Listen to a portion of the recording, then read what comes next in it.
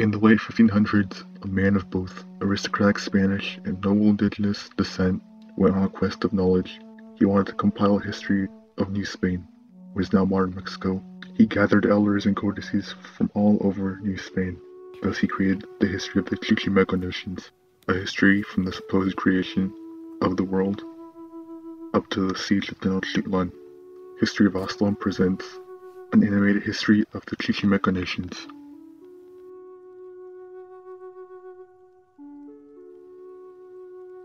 Most noble and illustrious Lord, since youth I have always greatly desired to know about the historical events in this new world, which is no less important than that of the Greeks, Romans, and Medes, and the other great pagan republics of old. However, with the passage of time and the fall of the kingdoms and states of my ancestors, their histories were buried. For this reason, with much effort, searching, I have achieved my desire to bring together the painted and sung histories with which they preserved them. For this I have gathered many elders who can understand them from all over New Spain. With their help I was able to understand easily their paintings and histories and translate their true meanings. With all this I was able to satisfy my quest for knowledge and adhere to the truth. I have written and dedicated this brief account of the history of New Spain as it is rightfully yours, your illustrious lordship. Don Fernando de Alva. They called the first age of the world Atonatiu. This means son of water, an allusion to a devastating flood that destroyed everything and ended this age. The second age was called Tlachitonatiu, which means son of earth, because this age ended in earthquakes that destroyed the world and killed off most of its original inhabitants, giants. The third age was called Ekatonatiu, this means son of wind, because the fierce winds destroyed everything and killed most of mankind. Some of mankind had survived. They had arrived from the east in boats to Potochan, divided into two groups, the Olmecas and Xicalancas. They settled on the riverbanks nearby. They also came into contact with giants that had survived the end of the Second Age. They subjugated and enslaved the new settlers. Thus, the leaders of the tribe gathered and conspired against the giants. They gathered their oppressors and invited them to sit and eat and drink. The giants got drunk and fell asleep. The people then killed the giants with their own large weapons they left lying around. This event caused the Olmecas and Xicalancas to expand their power across the new land. Then a man arrived at the height of these people's prosperity. He was called Quetzalcoatl, or Huemac by some. He was renowned for how just, wise, and good and holy he was. He taught them many things such as law, virtue, and to avoid sin, and also how to fast. Quetzalcoatl established himself in the city of Cholula, but over time he saw the people had now reverted to their old ways, and that they now cared little for his teachings. Thus he went east to Coatzacoalco. Before he said farewell, he told the people that he would return in the year Ce Acatl. His descendants would return and rule the land and enforce what he taught, and that the descendants of the people he left behind would suffer many casualties and persecutions, and many other prophecies that have been clearly fulfilled. A few days after Quetzalcoatl had left, the destruction of the Third Age had begun. Strong winds destroyed everything, including the large tower of Cholula.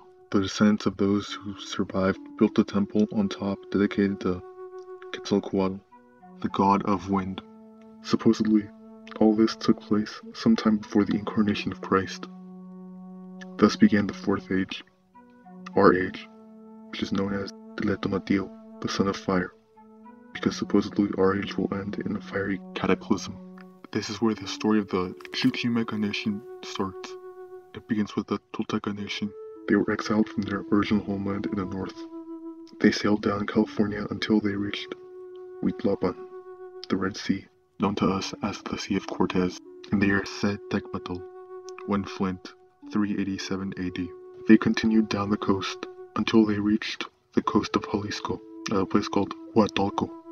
They made their way to Tuxtepec on the Atlantic coast.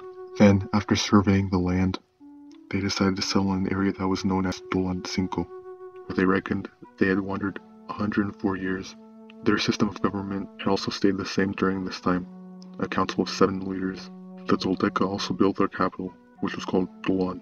Seven years after they founded it, they elected a king, who was called Chalchi Wimatsin, in the year Akato, 7 Reed, 510 AD. He governed for 52 years, during that time establishing relations with neighboring areas, making alliances, and bringing them under Tolteca rule. He was succeeded by Tliljech Awak, also in Shikome Akato, 7 Reed, 562 AD, also ruling 52 years. Huetzin inherited the empire. In Shiguasin Tochli, 6 Rabbit, 613 AD, he ruled for 52 years because it became custom for Tolteca rulers to rule for that amount of years, and he would also die in the year of the same name, 664, where Totepeu succeeded him. He died in the year Makwili Kali, 5 House, 716 AD. He was succeeded by Naka Sosh, who died in 768 AD. The year of the same name, Tlacomiwa inherited the empire. He expanded the Toltec Empire. Contrary to the other Toltec rulers, he ruled for 59 years, dying in the year 826 AD. Matlacito owns Acatl, 11 Reed. Queen Xiu succeeded him, but she only ruled for 4 years and died in the year Ome Acatl, 2 Reed. 830 AD, he was succeeded by Itzcaltzin, who ruled for another 52 years. It would be his son who would cause the Tolteca Empire to fall. As aforementioned, Itzcaltzin ruled the Tolteca Empire for 52 years. He was succeeded by his son, who was illegitimate, named Topiltzin, in the year 882 AD. Also Ome Acatl, 2 read, Topiltzin ascended the throne.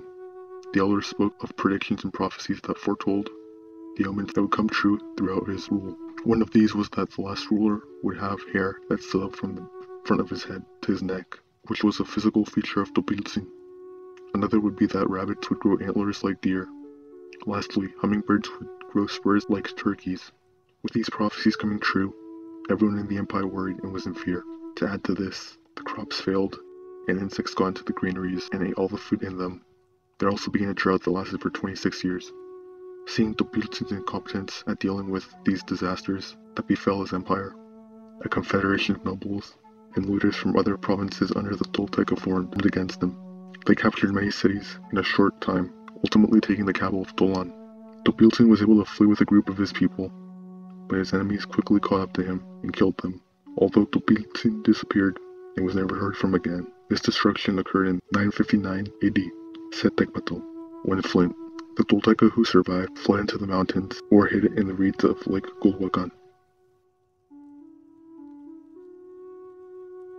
Five years after the fall of the Tolteca Empire, in the year 963 AD, known as Makwili Tekvatl, five slain, Xolotl, a Chichimeca leader who was from the legendary Chicomoztoc, the Seven Caves, arrived in the area of Tolan. His scouts had previously reported of the destruction of the Tolteca nation. Seeing Tolan in ruins and uninhabited, he decided to not resettle it. Instead, he made his way into the Valley of Mexico on the eastern shores of Lake Texcoco. He decided to settle in a place called Tenayucan Ostopolco, which had many caves. He settled it with his army, which, excluding the women and children, numbered to one million men. Xolotl also had a child, Nopaltzin, who was a young man at the time and would succeed him. Xolotl went on to establish settlements for 20 years, all while six of his captains arrived one by one to help him settle. Meanwhile, the Tolteca survivors in Culhuacan had chosen Nahuyotzin. Xolotl decided to demand a tribute from them and to declare him as supreme and universal lord in all of Anahuac. Nahuyotzin, on behalf of his nation, refused, saying that these lands were rightfully his as they belonged to his ancestors, and they would not submit to anyone, only their gods and the sun. Thus Xolotl told his son, Nopaltzin, that he would command a small force, as the Tolteca were not as good fighters as the Chichimeco, and put down the Tolteca. The battle took place on the lake.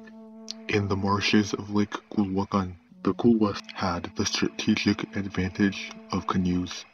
Nopaltzin defeated them quickly and put Achitomet as a ruler for the Toltecas of Culhuacan, and they had to pay tribute to Xolotl. All this occurred in the year 984 AD, which they call 13th House.